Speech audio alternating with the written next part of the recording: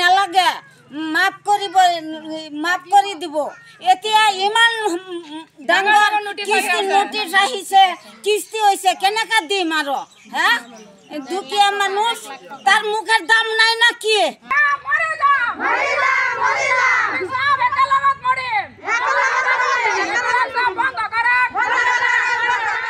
আমাৰ হিমন্ত মামাই আমাক এটা প্ৰতিশ্ৰুতি দিছিল পাঁচ বছৰৰ আগত। যে আমাৰ মাইক্ৰ' ফাইনেন্স সকলো মহিলাকে মাফ কৰি দিব। তাৰ ইতিমধ্যে এই মাফৰ কাৰণে আমি চবেই ভুল ভুল গ'লোঁ অৱশ্যে। এই ভুলত আমি ভুল কৰিলোঁ কিন্তু আমি কিস্তি নিদিলোঁ। তাৰ বিনিময়ে এতিয়া আমি শাস্তি পাবলগীয়া হৈছে। আৰু ঘৰে ঘৰে মহিলাসকলক আমাক হেৰেচমেণ্ট দিছে।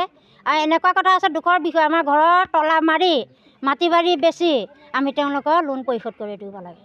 আৰু এইটোকে মোৰ মিনতি হিমন্ত মামাই আমাক যে এইটো সুবিধা দিয়ে। ইলেকশ্যনৰ সময়ত তেতিয়া চৰকাৰে কৈছিলে যে আমাৰ মাইক্ৰ' ফাইনেন্সৰ ঋণকেইটা মানে ৰেহাই কৰি দিম বুলি। তেতিয়া মানে আমি যেনেকৈ পাৰিছিলোঁ মানে আমি চবেই কষ্ট কৰি হ'লেও আমি কিস্তিখিনি দিছিলোঁ। কিন্তু চৰকাৰে কোৱাৰ পিছৰ পৰা কিন্তু আমি কিস্তিখিনি মাহিল আমি মহিলাকেইটা দিব পৰা নাই। কাৰণ চৰকাৰৰ আশাতে আমি ৰখি আছিলোঁ। এতিয়া ঘটনা হ'ল আগতে এজনী দুজনী মাইকী মানুহ ক'ৰবাত কিবা হৈছিলে।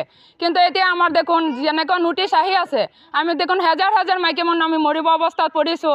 ঘৰে ঘৰে যেতিয়া নোটিচ আহি আছে এতিয়া কৈ আছে ধমকি দি আছে বোলে আমি হেৰি কৰিব বোলে এই মাটিত বোলে হেৰি লৈ যাব চৰকাৰে কি কয় লাল ৰিচান মাৰি দিব।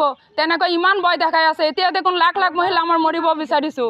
কাৰণ এতিয়া যদি চৰকাৰে যদি এইবিলাক আমাক যদি সহায় নকৰে তেতিয়াহ'লে আমিতো চব মৰিব লাগিব মৰিমেই। আমি চব একেলগত মৰিম অকলে নমৰিম মৰিব লাগে আমি চব একেলগতে মৰিম। কাৰণ আমাক এনেকুৱা হেৰেচমেণ্ট এটা চৰকাৰৰ ফালৰ পৰা আমি পাই আছোঁ। যদি এতিয়া চৰকাৰে যদি এইটো মানে শান্তি আমাক নিদিয়ে তেতিয়া কৈছিলে বোলে আমাক হেৰি দিব বোলে ক্লিয়াৰ চাৰ্টিফিকেট দিয়ে। কিন্তু আজিলৈকে আমি একোৱেই পোৱা নাই। আমি হেৰেচমেণ্ট এতিয়া বেছিয়ে পাই আছোঁ। এতিয়া চৰকাৰে যদি চৰকাৰে কেনেকৈ কি কৰে এইটো আমাক কৰি দিব লাগে। আৰু কেশৱ মন্ত ডাঙৰীয়া ছাৰে নিজে মুখেৰে কৈ গৈছিলে তোমালোকে কিস্তি দিব নালাগে। আমি কিস্তি কেনেকৈ আমি দিব লাগে চৰকাৰৰ ফালৰ পৰা দিম। কিন্তু আজিলৈকে কেশৱ মহন্ত ছাৰে আজিলৈকে আমাৰ গাঁৱত একদিন অহা নাই বা কোনো খবৰ লোৱা নাই তোমালোকে কি কিস্তিত কিস্তিটোতো পিছৰ কথা কোনো খবৰেই লোৱা নাই কেশৱ মহন্ত ডাঙৰীয়া।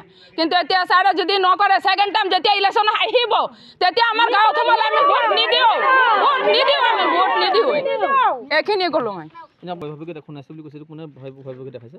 গৈ- গোটৰ মেনেজাৰবিলাকে অঁ ঘৰত আহি আছে কৈ আছে যদি আমি এতিয়া কিস্তি নিদিওঁ তেতিয়াহ'লে আমাৰ ঘৰত বোলে ইয়াৰ লাল ৰিচান লগাই দিব আৰু তলা লগাই দিব তেনেকুৱা কৰি আছে।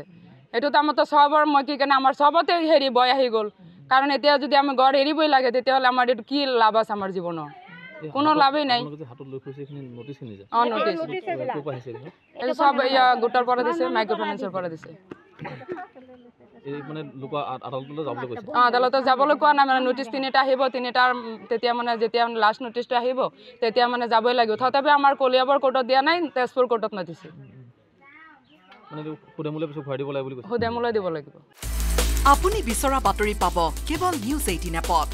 নিউজ এইটিন এপ ডাউনলোড কৰিবলৈ স্কেন কৰক এই Q R code Google Play ষ্টৰতো পাব এই নিউজ এইটিন এপ